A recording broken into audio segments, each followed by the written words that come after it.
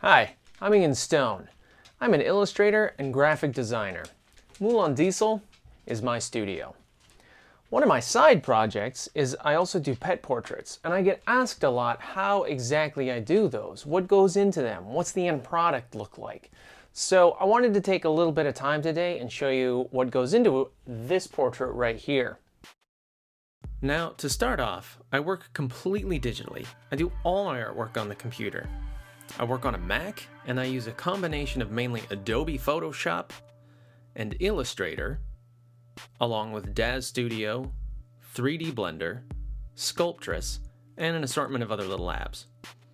My most important tool is this, a Wacom tablet. I use a pressure sensitive pen with it to mimic the act of drawing and painting. So, for example, in Photoshop, the harder I push, the darker a brush stroke gets, or the bigger it gets depending on the tool settings. This allows me to work just like I would if I was sitting at a table drawing or painting in a studio. Now, before I get into the process behind making the portrait, I want to give you a little background. The client, Sabrina, previously hired me to do the logo and business branding for her grooming salon, Rockbug Grooming. Then she hired me to do a tattoo design for her, and then a portrait of her pit bull Penelope, and then one of her guinea pig Declan, and then a science fiction version of Declan. Along the way, she has me do all sorts of new things for her business when she needs them, like typesetting this window decal to advertise with. Consequently, not only is Sabrina a great regular client, but she's become a close personal friend. Some time ago, she hired me to do a portrait of her Neapolitan Mastiff, Thor. First things first, a good freelance artist always discusses the client's wants and needs with them. In this case, we decided on a graphic style more like a comic book than the painterly style I did for her other pieces. She also mentioned wanting props in the portrait, and we kicked around some ideas until we decided on a dapper gentleman look. It just so happens that while we were hanging out at the salon, my wife snapped a pretty great picture of Thor sitting with me. We all decided that it would make a great picture to base the portrait on. So, back in my studio, I set up a 16 by 20 inch canvas in Photoshop. It's a good idea to work big because you can do a lot with it when it's done, and I try not to ever work too small. I open up Google and do a little research. I need a top hat, a bow tie, and a monocle. I just need references to give me a starting place when I draw. I assemble all the pieces on a canvas and start sketching.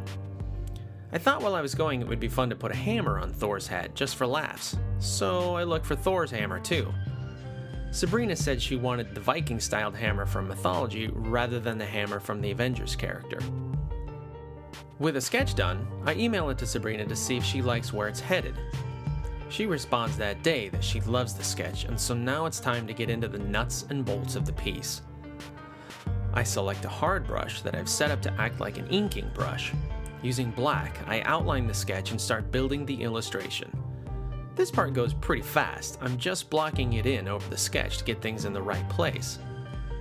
Once it's all blocked in, it slows down to a snail's pace because now I have to go through and polish it up to make it look really clean and professional. This part actually takes the longest in the entire picture. Basically, I'm shaving the pieces into fine points and cleaning up the roughness by going back and forth from the brush to the eraser. And I'm not gonna lie, this part is tedious, and towards the end, I'm really ready to be done with it, but patience is always rewarded. With that done, I get to the fun stuff. First thing I do is start sampling colors right from the photograph and then blocking them in. Right now, I'm only interested in flat areas of color. We're just blocking it in like it's gouache or acrylic paint or something. I don't know why, but I always think in terms of real art materials like pens and pencils and paints. Maybe it's a holdover from art school when I worked with real paints and pens and pencils, I don't know. It's pretty silly. Anyways, now the main color areas are all blocked in. I call this whole group of colors glazes because when I'm done, they will interact with everything the way colors do when they're baked onto clay. See? There I go, thinking in terms of real world stuff again. Now I create a new group and call this one ink washes.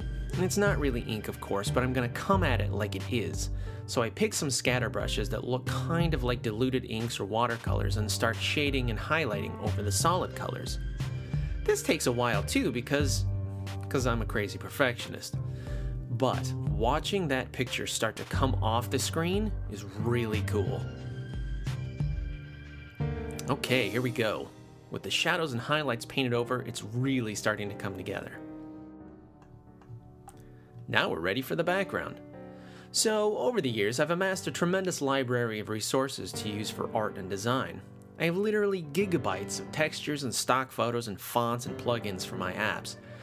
Along with some of the stuff that's built into Photoshop, I can really build some complex things very quickly. Okay, here's the final background right here. I chose this overall pinkish hue based on Sabrina's crazy love for pink, and all told this background has about 5 layers to it. Now, we put it all together. The ink layer. Now the colors. The glaze colors get that baking I mentioned by blending the whole group with the textures from the background. I want this whole thing to look like it was hand painted. I mean, technically it was, but I needed to have a retro, slightly grungy feel to it. Finally, the most fun part is doing lighting effects, and these really bring the whole thing to another level. And there we are, all finished. I email a small copy to the client for her approval. She loves it. So then I send her her high-res version. All totaled, this particular piece took me just over 12 hours to complete. Let's do a real quick recap.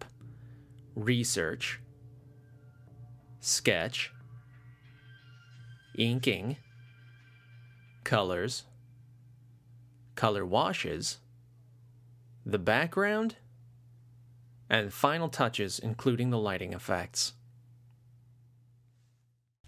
Well, that's it, guys. I hope you enjoyed this little peek into the digital art world, and if you're considering getting some artwork for yourself, hopefully you have a better idea of what goes into that.